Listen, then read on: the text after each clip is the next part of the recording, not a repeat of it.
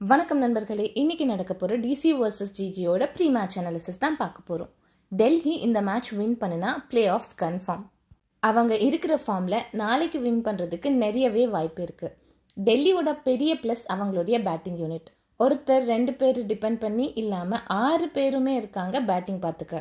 ஷெஃபாலி அடிக்கலைனா மெக் Lanning தென் ஜெமைமா இல்லை கேப்சி Kapp Jonassen எல்லா பேட்டர்ஸுமே கான்ட்ரிபியூட் பண்ணியிருக்காங்க. பவுலிங் யூனிட் பார்த்தா கூட லாஸ்ட் ஃபியூ மேட்சஸாக ஷிகா பாண்டே நல்லா பவுல் பண்ணியிருக்காங்க. பால் ஸ்விங் ஆச்சுன்னா அந்த கண்டிஷன்ஸை எக்ஸ்ப்ளாய்ட் பண்ணுற திறமை கேப்க்கு இருக்குது ஸோ டெல்லி பெட்டர் டீமாக தெரியுறாங்க நாளைக்கு மேட்ச்க்கு ஜிஜி இந்த டோர்னமெண்ட்டோட ஸ்டார்டிங்கில் இருந்தே ரொம்ப இன்கன்சிஸ்டண்ட்டாக தான் விளையாடுறாங்க.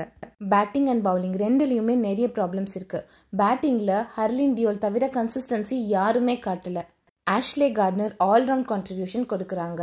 ஜிஜி சோஃபியா டங்க்லியோட ஸ்டார்ட்டர் ரொம்பவே டிபெண்ட் பண்ணி இருக்காங்க மேக்னாட்டை இருந்து பெருசாக கான்ட்ரிபியூஷன் இல்லை. ஹேமலதா ஒரு சில இன்னிங்ஸில் கொஞ்சம் கிளிம்சஸ் காட்டுறாங்க. பட் அது நெக்ஸ்ட் லெவலுக்கு எடுத்துகிட்டு போகணும்.